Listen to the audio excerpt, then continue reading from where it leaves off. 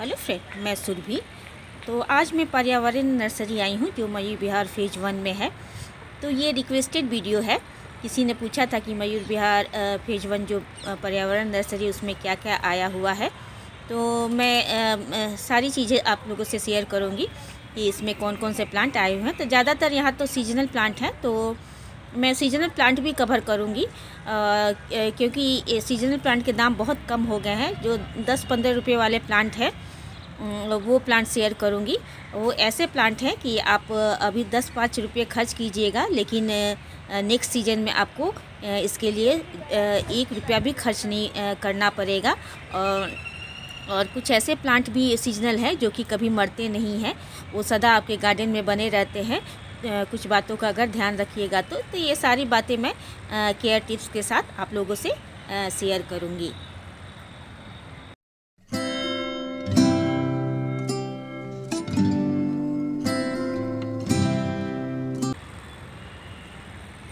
तो ज़्यादातर इनके यहाँ सीजनल प्लांट ही देखने को मिल रहा है। और कुछ प्लांट के तो दाम जो बहुत महँगे थे वो बहुत सस्ते हो गए हैं तो वो सारी बातें मैं शेयर करूँगी। ये देखिए पॉपी।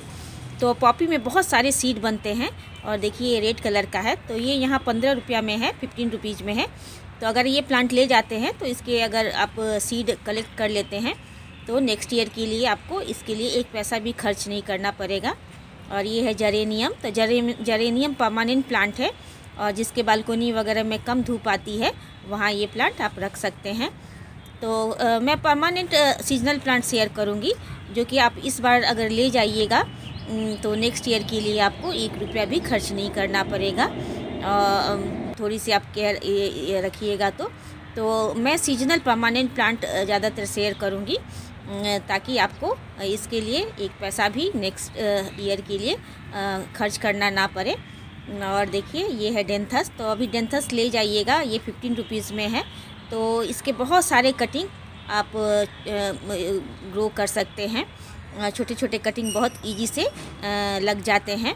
और उसके बाद देखिए, ये है नस्टेशियम तो नस्टेशियम तो बहुत ही बीजों से ग्रो होने वाला फ्लावरिंग प्लांट है। और देख ही सकते हैं, बहुत खूबसूरत कलर येलो ऑरेंज में आता है। तो ये ही फूल सूखने के बाद बहुत सारे इसमें बीज बनते हैं और ये तो एक बार गार्डन में ले जाइएगा तो अगर सीड कलेक्ट भी नहीं कीजिएगा तो आपके गार्डन में खुद ब खुद गिर के अपने आप बरसात के सीज़न में ग्रो हो जाते हैं। और इसके फूलों के साथ साथ पत्तियाँ भी देखिए कितनी खूबसूरत है। और उसके बाद ये सालविया शेयर करूँगी। तो सालविया में देखिए, ज़्यादातर रेड दिखने को मिलते हैं, लेकिन पर्यावरण नर्सरी में पर्पल ऑरेंज और वेरीगेटेड वाला भी सालविया दिखने को मिल जाएगा। तो अगर आप ये पर्पल और वेरीगेटेड के सीड कलेक्ट कर लेते हैं तो आप बहुत इजी से रेनी सीज़न में इसे ग्रो कर सकते हैं। ये ऊपर वाले जो फूल देख रहे हैं। यही सूखने के बाद इसी के अंदर काले काले बीज रहते हैं। तो आप देखिएगा तो इसके अंदर छोटे छोटे काले बीज रहते हैं। एक एक सूखे हुए फूल में एक ही सीड रहता है।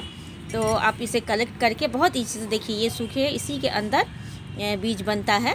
तो आप बहुत इजी से ग्रो कर सकते हैं और नेक्स्ट ईयर इसके लिए भी आप पैसे खर्च नहीं करना पड़ेगा। और ये गजेनिया है। तो गजेनिया के नीचे देखिए बहुत प्यारे प्यारे कलर रहते हैं। नीचे बहुत सारे प्लांट निकलते हैं। तो बस अब अगर इसे बरसात में बना बचा लेते हैं तो नीचे से आप प्लांट अलग करके बहुत सारे प्लांट बना सकते हैं। तो ये प्लांट भी यहाँ फिफ्टीन रुपीज़ में है तो आप इसे यहाँ से ले जा सकते हैं।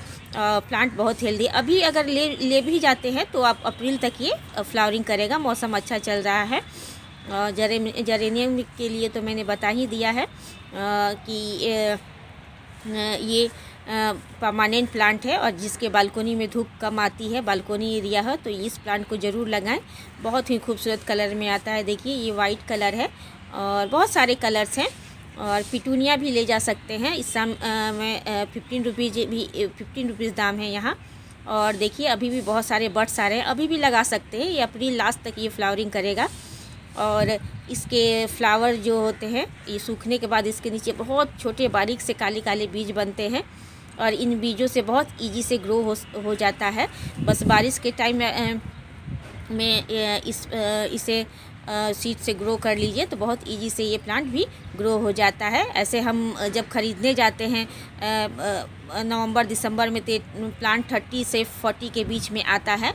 अगर आप सीड से ग्रो कर कर लेते हैं तो बहुत फ्री में ग्रो हो जाता है। और ये देखिए एनुअल क्राइस्थम है। ये ये भी बहुत खूबसूरत ये है।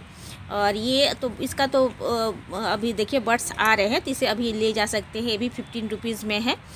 और ये अभी बहुत लास्ट फरवरी सॉरी लास्ट अप्रैल तक ये फ्लावरिंग करेगा। और देखिए बर्ड्स बहुत सारे आ रहे हैं। तो इसे अभी इसमें भी बहुत गेंदे की तरह, जैसे मैरीगोंड में ढेरों बीज बनते हैं नीचे से, इसमें भी बहुत सारे बीज बनते हैं। और ये स्टॉक फ्लावर है। तो ये भी अभी अप्रैल तक फ्लावरिंग करेगा और बर्ड्स देखिए बहुत सारे तो फिफ्टी रुपीज़ में ये ये भी यहाँ से ले जा सकते हैं। कलर बहुत प्यारे प्यारे हैं, पिंक, पर्पल, वाइट, बहुत सारे कलर्स हैं। प्लांट भी है, हेल्दी है और दाम इसका फिफ्टीन रुपीज़ है। उसके बाद है कैनेंडुला। तो कैनेंडुला भी बहुत इजी ग्रोइंग प्लांट है और ये भी टिल अप्रैल तक फ्लावरिंग करेगा और इसके फ्लावर में ही बहुत सारे सीड बनते हैं। तो इसके सीड सीड अगर कलेक्ट कर लेते हैं तो जुलाई, अगस्त में आप बहुत इजी से इसे ग्रो कर सकते हैं और और ढेरों प्लांट इससे ग्रो हो जाते हैं। जैसे कि मेरीगोल्ड ग्रो हो जाता है, वैसे ही इसके बहुत सारे सीड से प्लांट ईजी से निकलते हैं। डॉग फ्लावर भी है फिफ्टीन रुपीज़ में। तो फिफ्टीन रुपी ये भी प्लांट कलर बहुत सुंदर है तो अप्रैल तक ये भी फ्लावरिंग करेगा। और इस, ये भी बीजों से बहुत इजी से लग जाता है। तो डॉग फ्लावर भी आप यहाँ से ले जा सकते हैं, बहुत प्यारे प्यारे से कलर में है। और ये है सिनरेरिया तो सिनेरिया जो बालकोनी एरिया जिसका है, वो इस प्लांट को ज़रूर लगाएँ, बहुत ही खूबसूरत कलर में आता है। और ये भी पॉली बैग में लगा हुआ है, और ये फिफ्टीन रुपीज़ में है। तो सिनेरिया भी जहाँ कम धूप आती है वहाँ इस प्लांट को लगाएँ। बहुत ही खूबसूरत प्लांट है। और आप सोचिएगा कि सीजनल प्लांट मैं क्यों शेयर कर रही हूँ? तो अभी आप सस्ते प्लांट ले जाएँ और उसकी सीड कलेक्ट करके या कटिंग कर, लगा के आप नेक्स्ट ईयर के लिए फ्री में प्लांट आप ग्रो कर सकते हैं। कलर देख ही सकते हैं। बहुत हेल्दी प्लांट है। और अभी आप ले जाइएगा तो बहुत अप्रैल तक ये बहुत अच्छी तरह से फ्लावरिंग करेगा। कलर बहुत एक से एक यहाँ कलर है। तो ये सीजनल प्लांट की छोटी सी मेरी एक शेयरिंग थी। तो होप मेरी ये शेयरिंग पसंद आई होगी। तो लाइक शेयर सब्सक्राइब ज़रूर कीजिएगा और मैं इनका phone number address description box में दे दूँगी। Thank you